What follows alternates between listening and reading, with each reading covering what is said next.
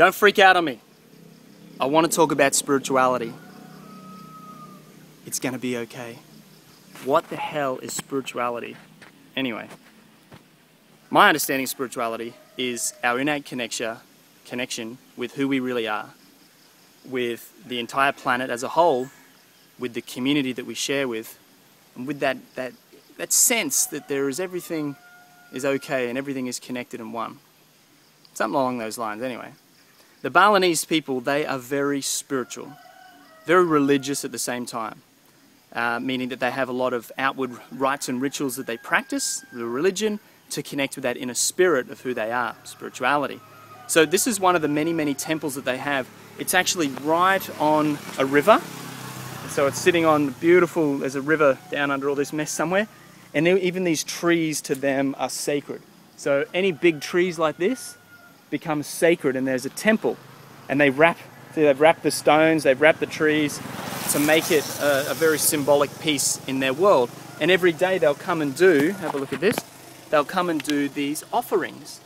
So these are offerings that they make here. They dry the rice they they carve this stuff up which is um, uh, pandanus. They make the baskets and a few times a day they'll come and they'll do offerings. Uh, that's the outward ritual but the spiritual symbology there is to connect with Mother Nature because the Balinese people are very, very connected with Mother Nature. They realize that their whole world revolves around the flow of nature. Rivers are sacred, trees are sacred. This tree is just a river. It's just a river. It's got water moving through it, which we call sap, right?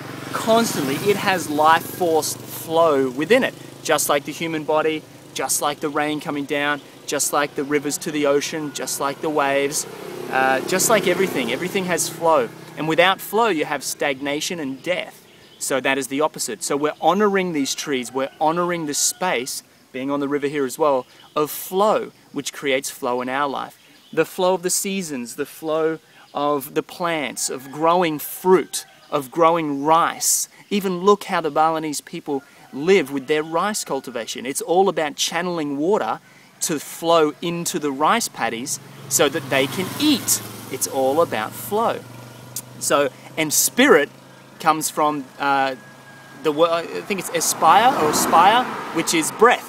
Spirituality actually means breath, which is why meditation, something that I practiced my whole life since I was 20 when I found out about it, um, is all about a focus on the breath and using the breath to move deeper into who we really are. Spirit. Beautiful, huh? So just looking today at uh, how I can get closer to nature, being that nature is a, a, very deep source and connection of spirituality. The Balinese people, and for me here in Bali, it's very easy because I can come to these sites, I can come into the natural world and I can spend a moment. When was the last time that you spent a moment in nature? When was the last time that you went and connected with your spirit, with your flow? Just to sit by a river, sit in the forest, sit in your backyard or walk by a river, walk in the forest, walk in your backyard, and be present. Be aware of your breath. Be aware of the, the breeze that's blowing against you. Be aware of the sound of the river or the ocean that you're, you're near. Be aware of the trees that are around you. Yeah, just be aware. Just be in that moment for just a second. That is spirituality. Have fun, enjoy your magical day, and find that place within yourself that you know is connected to all because that's where your peace and that's where your happiness lies. And life is very, very good. Trust your body, trust nature because nature knows the way. Cheers.